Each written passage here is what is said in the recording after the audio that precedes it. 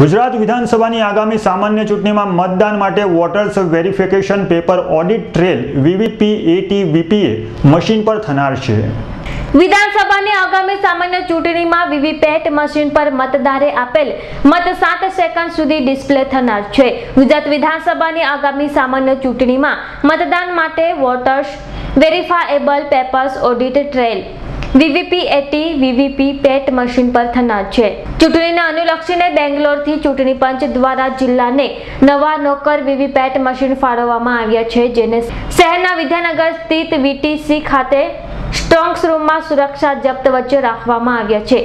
તાજેતરમાં જ ઇન્જિનિયરની ઉપસ્થિતિમાં તેનું ફર્સ્ટ લેવલ ચેકિંગ હાથ ધરવામાં આવ્યું હતું, જે સંપન્ન થયું છે. આ વખતે પ્રથમ જ વાર વીવીપેટ મશીનો પર ચૂંટણીનું મતદાન થનાર છે.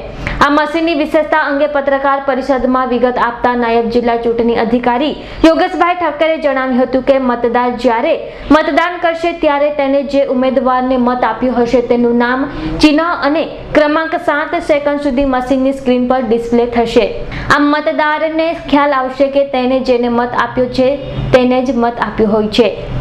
આજે શહેરની કલેક્ટર કચેરી ખાતે આ મશીનનું જિલ્લા કલેક્ટર અને જિલ્લા ચૂંટણી અધિકારી હર્ષદભાઈ પટેલ તથા નાયબ જિલ્લા ચૂંટણી અધિકારી યોગેશભાઈ ઠક્કરની ઉપસ્થિતિમાં ડેમોન્સ્ટ્રેશન રાખવામાં આવ્યું હતું. હેલ્પલાઇન નંબર આપ્યો ઓફલાઈન બીએલઓ પાસે અમારા મદદનીશ મતદાર નોંધણી અધિકારી મતદાર નોંધણી અધિકારી અમારી કચેરીમાં, ચૂંટણી બ્રાન્ચમાં બધી જગ્યાએ મતદાર અવેલેબલ છે. માન્ય રાજકીય પક્ષો છે, જે છ માન્ય રાજકીય પક્ષો. એમને પણ આ આખી જે પચીસ નવે જે આપણે યાદી પ્રસિદ્ધ કરી, એની નકલો આપણે આપેલી છે. અને અન્ય રાજકીય પક્ષોને પણ જોતી હોય તો એ પણ અહીંયાથી એને સીડીના સ્વરૂપમાં આપણે આપી શકીએ છીએ. એટલે એ પણ એનો ઉપયોગ કરી શકાશે અને હવે પછી આપણે કોઈ પણ જે નામ છે, એમાં કોઈ એક વ્યક્તિ નામ ડિલીટ કરાવે, તો એ પાંચ વ્યક્તિથી વધારે ડિલીટ નહીં કરી શકે.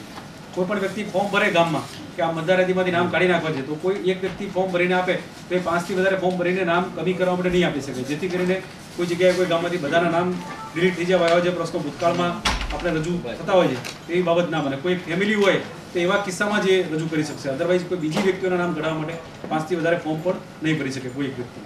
એટલે એ પણ આપણે એક છે સેફગાર્ડ રાખ્યું છે, જેથી કરીને મતદારીમાંથી નામો નીકળી જવાના કે ડિલીટ થવાના અનનેસેસરી એવા પ્રશ્નો ન ઉદ્ભવે. કેમેરામેન પાર્થ ત્રિવેદી સાથે ઇરફાન સોલંકીનો રિપોર્ટ ભાવનગર.